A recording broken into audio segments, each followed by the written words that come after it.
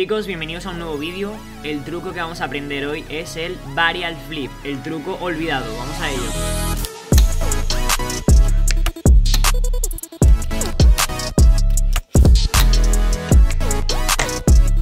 Ok, el varial flip o el varial kickflip, como lo queráis llamar, es un truco, tío, que probablemente te haya salido intentando hacer el flip. O sea, tú intentarás un flip y hay veces que depende de cómo lo piques, se te irá a varial flip porque es un pique como muy de Oli, ¿sabes? O sea, quiero decir, el Oli tú lo picas y lo picas como, bueno, así, ¿ok? No sé si me explico, ¿vale? Es, es muy complicado de entender. La cosa del flip es que tú tienes como que picar un poco así para que no se te vaya. Probablemente lo que te haya pasado es que hayas raspado de flip y te haya pasado esto. ¿Verdad? Creo que es posible que te haya pasado esto porque, bueno, a mí es que es lo que me ha pasado. Entonces, el varial flip lo aprendes intentando hacer el flip. No sé si me explico. O sea, no hay que hacer un sobit. O sea, el sobit sale solo al raspar el flip. O sea, yo raspo más o menos como un flip hacia adelante, pero el pique ya no lo hago como más como más así, más de frontside pop, ¿ok? El pique del varial flip es un, un pique recto.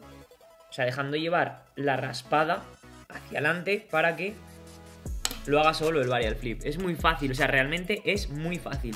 Posición de los pies, os lo enseño ahora mismo. Para mí, chicos, la posición de los dedos sería muy parecida a la del flip, o sea, sería como una cosa así. Dedos por debajo de los tornillos, los dos obviamente, porque para picar se necesita tenerlo debajo de los tornillos. Y este para raspar sería una cosa así. Este manteniéndolo recto, para nada poniéndolo así, no. Simplemente pues recto. Y lo que os digo, el pique ya no sería este. ¿Vale? Para poder raspar de flip, no. El pique sería muy normal. ¿Entendéis? O sea, normalmente cuando hacíamos el flip, ¿vale? Os explico. Hacíamos como... Para que se inclinara y hiciéramos pum y le diéramos fuerte con el dedo de adelante, ¿ok? En cambio este, este es un pique como de este estilo. Y ya, directamente el dedo hace la maniobra de varial flip. Y ya, aterrizamos el truco. Claro, obviamente yo lo veo muy sencillo porque yo este truco, lo que yo os digo, lo aprendí intentando hacer el flip. Y hacía, ah, flip, y hago, mierda, tío, ¿por qué se me va puto varial flip? Me cago en la puta, no lo entiendo, ¿por qué me está pasando esto? Bueno, entonces claro, para mí el varial flip era un truco como que no me gustaba porque era un truco que me salía intentando el flip. Por lo tanto, yo lo dejé olvidado. Unas veces, pues, yo que sé, he hecho finger con algún colega y ha hecho, venga, de primera, ¡pum! Varial flip. Y hago yo, hostia, en realidad lo sé hacer. Y voy así y no lo hago y hago, cago en la puta, que me ha sacado letra con un truco que sé hacer y no lo he hecho, no lo he copiado. ¿Por qué? Porque no lo entreno. Entonces, claro, me parece como muy importante para la hora de, por ejemplo, si vas a echar un Game of Skate con un colega, pues no pasa nada, ¿no? Pero bueno, imagínate tú que te vas a una competi y, hace, y por un varial flip de mierda fallas el truco. Es como, me cago en la puta, que es un varial flip que lo hago en casa 100.000 veces sin querer. Y voy a la competi y no lo hago. Bueno, pues para mí este truco es muy importante, por eso os voy a enseñar unas cuantas tomas en cámara lenta. Vamos a ello.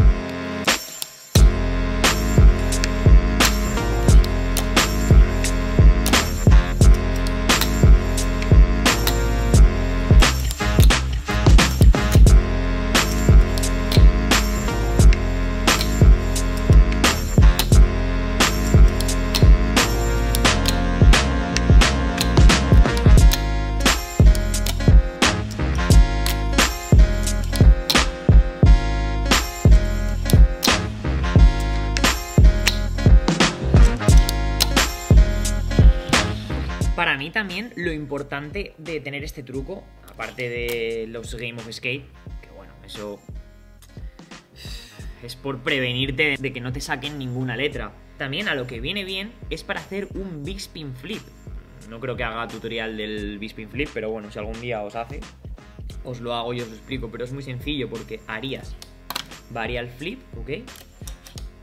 Y luego, ¿me entendéis? O sea, es muy sencillo por eso. Sea, si lo hacéis todo junto, el revert es muy fácil. Tú estás haciendo un varial flip, ¿sabéis? Mira, un varial flip. Vaya por Dios. Un varial flip y luego... ¿Vale? Pero si lo haces más rápido, pues casi no se nota ese reverteo. Entonces es un truco que es para mí muy bonito porque es de giro y queda bastante épico y a la vez te hace falta el varial flip para ese truco. Por lo tanto, me parece un truco muy importante. También lo podemos usar en manuals, en greens, en, en, una barbaridad y queda súper estético. Sí que es verdad que, por ejemplo, si tú haces un varial flip a backside tail, es como un bisping flip a backside tail, pero realmente estás haciendo un, varial flip y lo metes a backside tail.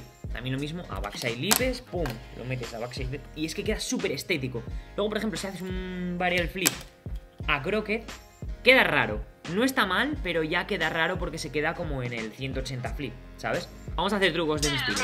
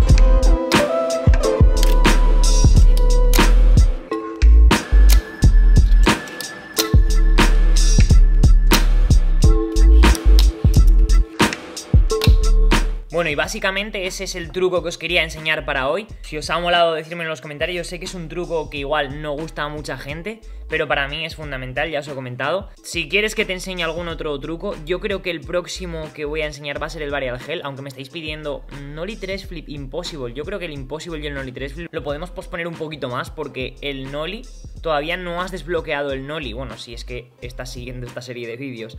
La cosa es que el Nolly hay que desbloquear ese movimiento, con lo cual más adelante os enseñaré cómo se hace por ejemplo un Nolly Flip, ¿vale? Porque el Nolly es, es desbloquear ese truco, el Nolly es un poco complicado de, de desbloquear, pero bueno, pronto lo enseñaremos. Para la semana que viene probablemente sea el Varial Gel y si no quieres el Varial Gel pues pónmelo en los comentarios y yo veré si lo hago o no lo hago.